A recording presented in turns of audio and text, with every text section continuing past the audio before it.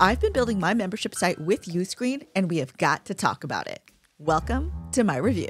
This is for my creators that want to build their membership and grow their community without having to make the audience sign up for 10 different platforms, like me. I just want to send my folks to one place. Now, one of my main goals this quarter is to get my membership site going, and in the process, I've been looking into all of the options out there.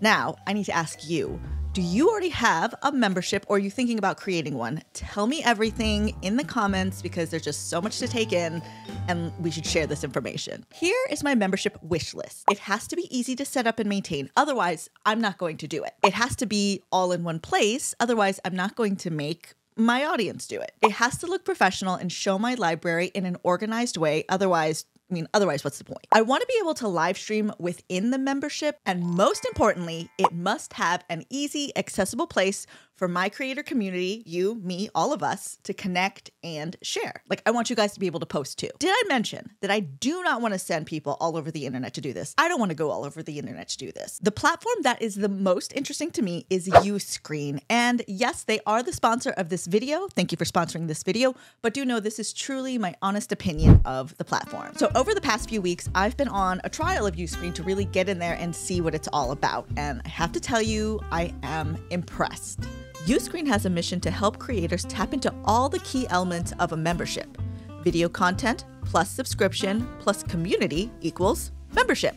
Not only does it offer everything on my wish list, it also has things that I wasn't even really thinking of. Like you can customize what you offer as far as subscriptions or purchases. It has really great analytics and marketing tools, and you can even have an app. The best thing for me is that the video catalog and the community are in the same platform, the same place. Except I don't I don't want to be going all over the place for this. Let me show you what I've done so far. Okay, so building this out has been really, really fun.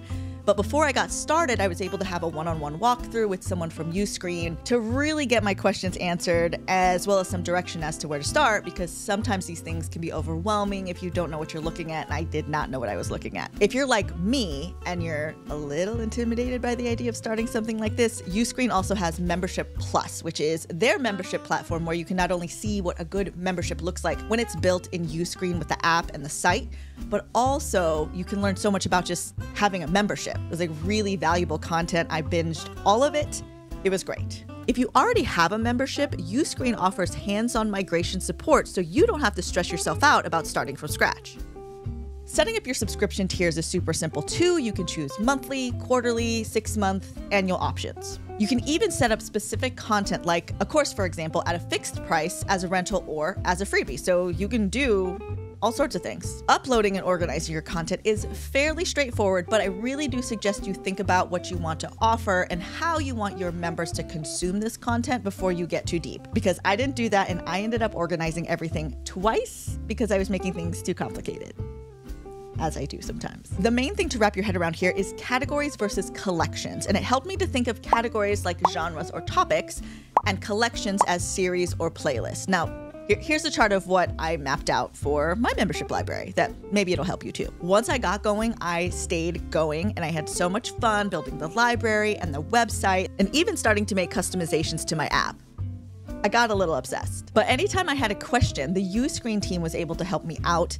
And the fact that it's all in one place makes my heart sing because, like I said earlier, if it's not easy to maintain or I have to go all over the internet to make this work, I'm just not going to do it. So that means there's no membership. If it's too difficult, I'm just not going to have a membership. And I want to do this membership. Now, we have to talk about the pricing. This is for those of us that are really serious about developing our membership as part of our business.